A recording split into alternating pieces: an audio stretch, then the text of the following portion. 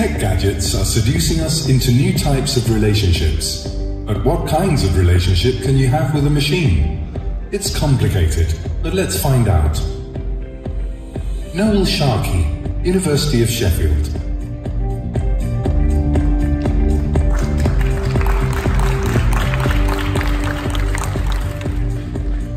Hi everyone. Uh, before I start, I just because I'm going to be get a, probably get a little bit negative, I'm actually very passionate about AI. Uh, I started in AI in the in the 70s, so it's been 40 years, uh, and I love the technology we've created. But for the last probably 10, 12 years, um, I've become I've gone from poacher to gamekeeper to look at the, our responsibility for the technology we, have created and are still creating. So that's the approach I'm giving you today. Okay. So what kind of relationships can we have with our technology? Friend, companion, personal, romantic, controlling, loving, adversarial, servile, professional, therapeutic. I'll answer that at the end.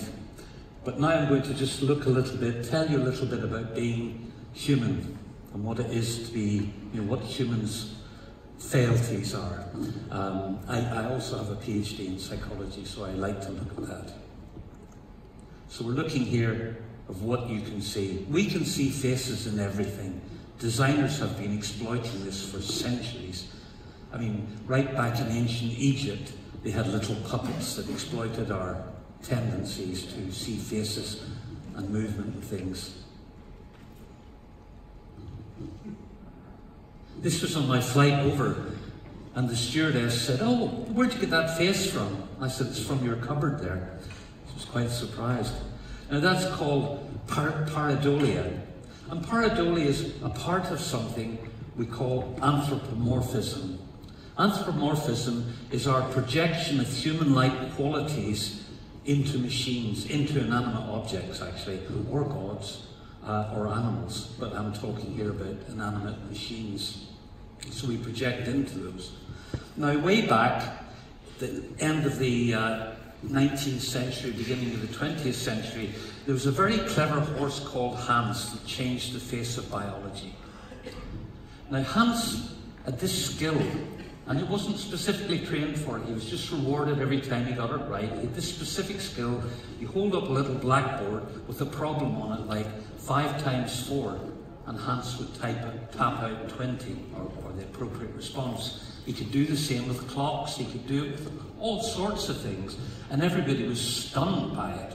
The Berlin Academy of Psychology did an investigation. They ran a commission. They had circus trainers. They had all these people. And they all ended up saying, Yes, Hans was a really intelligent being that thought like humans. That was the response. 1907, a young psychologist had a different idea. So he had a go at Hans. And what he did was he got actors to hold up the, the board. And the actors had to keep a very straight face so they weren't giving anything away. Lo and behold, Hans still got the problems right. So then his next step, which is a clever psychological step, he, held, he got the actors to hold up the board, but they didn't see the problem. They didn't know what they were holding up. And Hans was completely useless, tapped out randomly. So for me, I thought it was still clever because what the horse was doing was going from exact facial expressions, tiny facial expressions, even of the actors. So at that point, biology went for this thing of let's not be anthropomorphic anymore about animals. Let's develop an objective science. That was 2007. By 2012, Loeb wrote a book called Mechanistic Biology.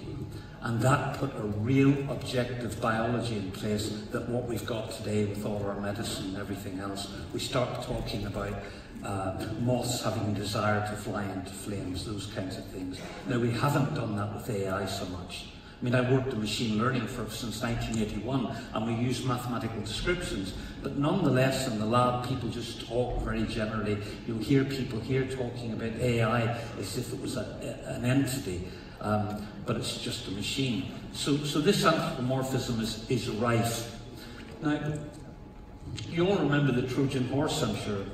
Um, that came into the city of Troy, was pulled in, was left there, and then when, at night time all the soldiers crept out.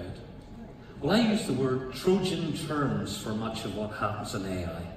So people use terms like cognition, thinking, um, guilt. Guilt's a good one.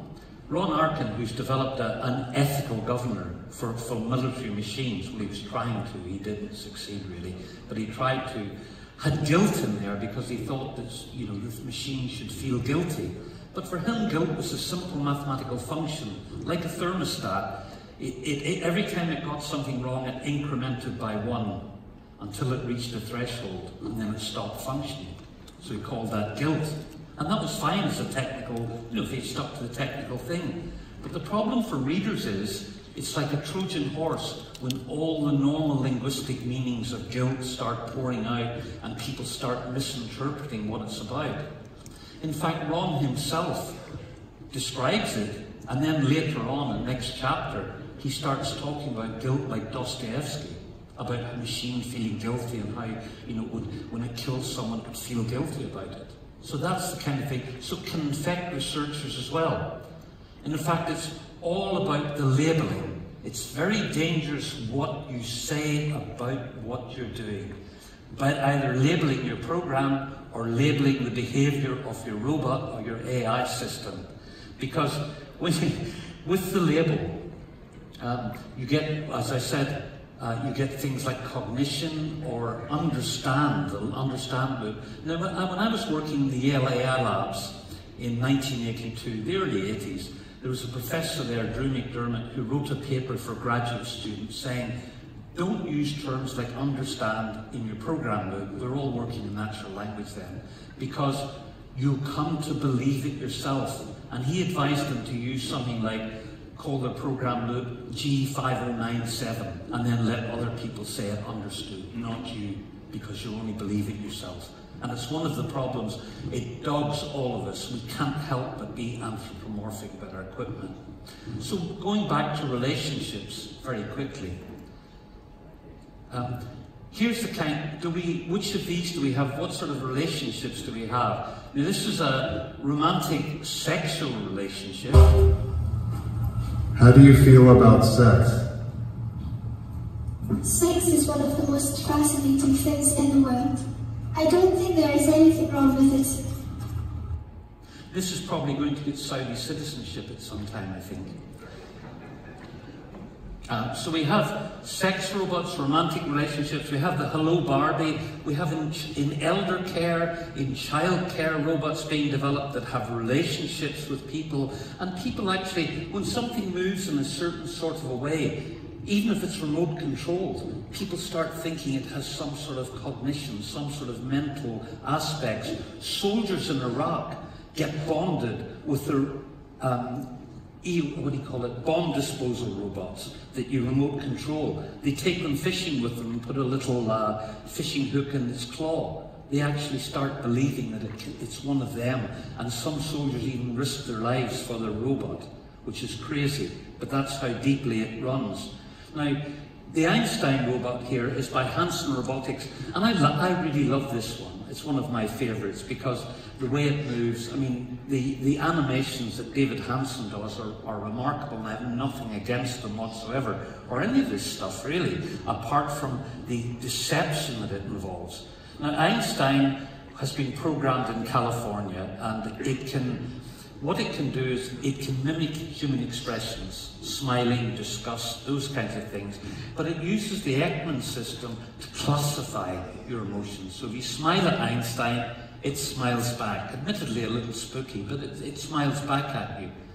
But there's a big divide between being able to express emotions and categorize emotions and actually feel them.